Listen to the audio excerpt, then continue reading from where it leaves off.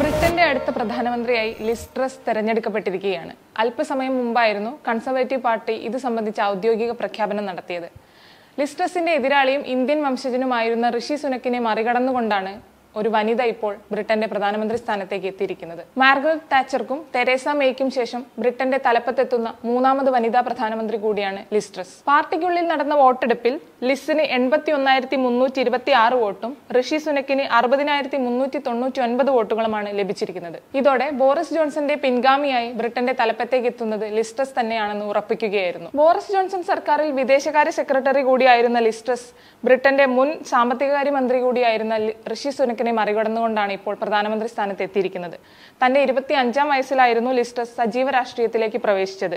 എന്നാൽ തന്റെ ആദ്യ പാർലമെന്റ് അംഗത്തിൽ തന്നെ പരാജയം നേരിടാനായിരുന്നു ലിസ്ട്രസിന്റെ വിധി. പിന്നീട് രണ്ടായിരത്തി ഒൻപതിലാണ് സൗത്ത് വെസ്റ്റ് നോർഫോക്കിൽ നിന്ന് ലിസ്ട്രസ് പാർലമെന്റിലേക്ക് തെരഞ്ഞെടുക്കപ്പെടുന്നത്. പിന്നീട് രണ്ടായിരത്തി പന്ത്രണ്ടിൽ വിദ്യാഭ്യാസ വകുപ്പിൽ അണ്ടർ സെക്രട്ടറി രണ്ടായിരത്തി പതിനാലിൽ പരിസ്ഥിതി വകുപ്പ് സെക്രട്ടറി രണ്ടായിരത്തി പതിനാറിൽ ജസ്റ്റിസ് സെക്രട്ടറി രണ്ടായിരത്തി പതിനേഴിൽ chief secretary to the treasury രണ്ടായിരത്തി പത്തൊമ്പതിൽ അന്താരാഷ്ട്ര വ്യാപാര സെക്രട്ടറി എന്നീ പദവികളിലും ലിസ്ട്രസ് സേവനമനുഷ്ഠിച്ചിട്ടുണ്ട്. ഏറെ വർഷങ്ങൾ നീണ്ട രാഷ്ട്രീയ പാരമ്പര്യത്തിനൊടുവിലാണ് ഇപ്പോൾ കൺസർവേറ്റീവ് പാർട്ടിയുടെ തലപ്പത്തേക്കും ബ്രിട്ടന്റെ തലപ്പത്തേക്കും ലിസ്ട്രസ് എന്ന വനിത എത്തിയിരിക്കുന്നത്. ഏറെ വിവാദങ്ങൾക്കൊടുവിലായിരുന്നു ഓഗസ്റ്റിൽ ബോറിസ് ജോൺസണ് ബ്രിട്ടന്റെ പ്രധാനമന്ത്രി സ്ഥാനം രാജിവെക്കേണ്ടി വന്നത്.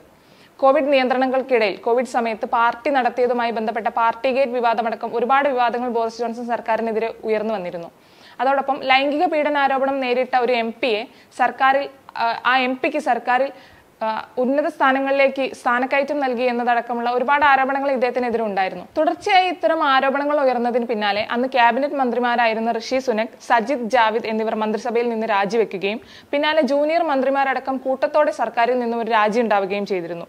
അതോടെയാണ് നിൽക്കക്കള്ളി ഇല്ലാതെ ബോറിസ് ജോൺസൺ പ്രധാനമന്ത്രി സ്ഥാനം രാജിവെക്കേണ്ടി വന്നത്.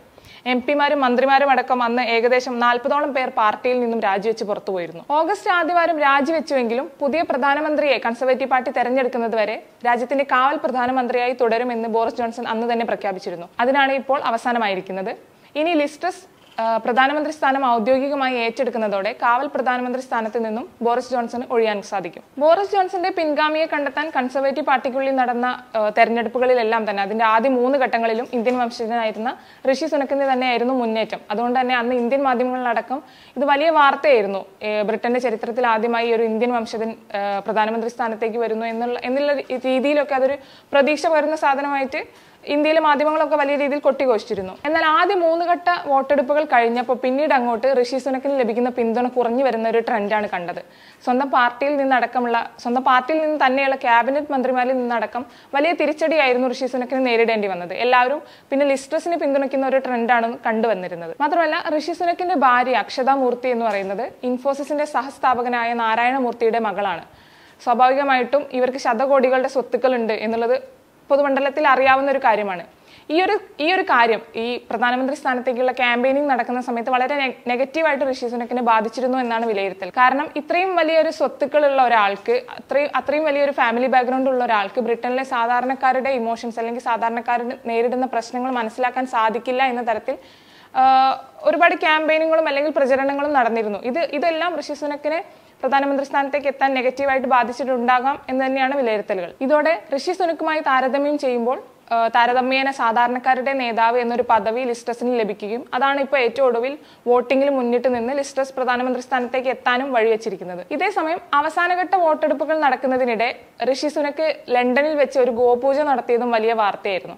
തന്റെ ഭാര്യ ഭാര്യയും ഡിസൈനർ കൂടിയായ അക്ഷത മൂർത്തിക്കൊപ്പം അദ്ദേഹം പശുവിന്റെ അടുത്ത് എത്തുകയും ആരതി ഒഴുകുകയും വിളക്ക് കൊളുത്തുകയൊക്കെ ചെയ്യുന്നതായിട്ടുള്ള ദൃശ്യങ്ങളും ഫോട്ടോകളും ഒക്കെ വലിയ വാർത്തയായിട്ട് വന്നിരുന്നു. ഈ അവസാന ഘട്ടത്തിലേക്ക് എത്തിയപ്പോൾ തന്റെ പിന്തുണ കുറഞ്ഞു വരുന്നതായിട്ട് കണ്ട ഋഷി സുനക്. ഈ ബ്രിട്ടനിലെ ഇന്ത്യൻ വംശജരുടെയൊക്കെ സപ്പോർട്ട് കിട്ടാൻ വേണ്ടിയിട്ട് തന്റെ ഹിന്ദു ഐഡന്റിറ്റി പബ്ലിക്കായിട്ട് തന്നെ അല്ലെങ്കിൽ കൂടുതൽ വെളിപ്പെടുന്ന രീതിയിലുള്ള പ്രവർത്തികളിൽ ഏർപ്പെടുന്നതായിട്ടായിരുന്നു ആ ഗോപൂജയൊക്കെ വിലയിരുത്തപ്പെട്ടത്. അന്നത്തെ ഗോപൂജയുടെ ദൃശ്യങ്ങളും വാർത്തകളും ഒക്കെ ഇവിടെ ഇന്ത്യയിൽ വിവിധ സംഘപരിവാർ സാമൂഹ്യ മാധ്യമ അക്കൗണ്ടുകളൊക്കെ വലിയ രീതിയിൽ ആഘോഷിക്കപ്പെടുകയും ചെയ്തിരുന്നു. ഈ ഗോപൂജയ്ക്ക് മുൻപായിട്ട് ബ്രിട്ടനിലെ ജന്മാഷ്ടമി ദിന ആഘോഷങ്ങളിലും ഏഹ്, ഇതുപോലെ ഋഷി സുനക്കും ഭാര്യ അക്ഷതമൂർത്തിയും പങ്കെടുത്തതും ഇത് ഇതുപോലെ വലിയ വാർത്തയായിരുന്നു. ഇങ്ങനെ തുടർച്ചയായിട്ട് തന്റെ ഹിന്ദു ഐഡന്റിറ്റി അല്ലെങ്കിൽ തന്റെ മതാചാരങ്ങളിൽ പങ്കെടുത്തുകൊണ്ട് ആ ഒരു ഐഡന്റിറ്റി പബ്ലിക്കായിട്ട് വെളിപ്പെടുത്തുന്ന ഒരു ആറ്റിറ്റ്യൂഡ് ആയിരുന്നു ഋഷി സുനക്കിന്റെ ഭാഗത്തു നിന്ന് തുടർച്ചയായിട്ട് ഉണ്ടായിരുന്നത്. എന്ത് തന്നെയായാലും ഒരു ഇന്ത്യൻ വംശജന് ബ്രിട്ടന്റെ പ്രധാനമന്ത്രി സ്ഥാനത്ത് എത്തി ചരിത്രം കുറിക്കാനുള്ള ഒരു ഒരു ഇട കൊടുക്കാതെ തന്നെ ലിസ്ട്രസ്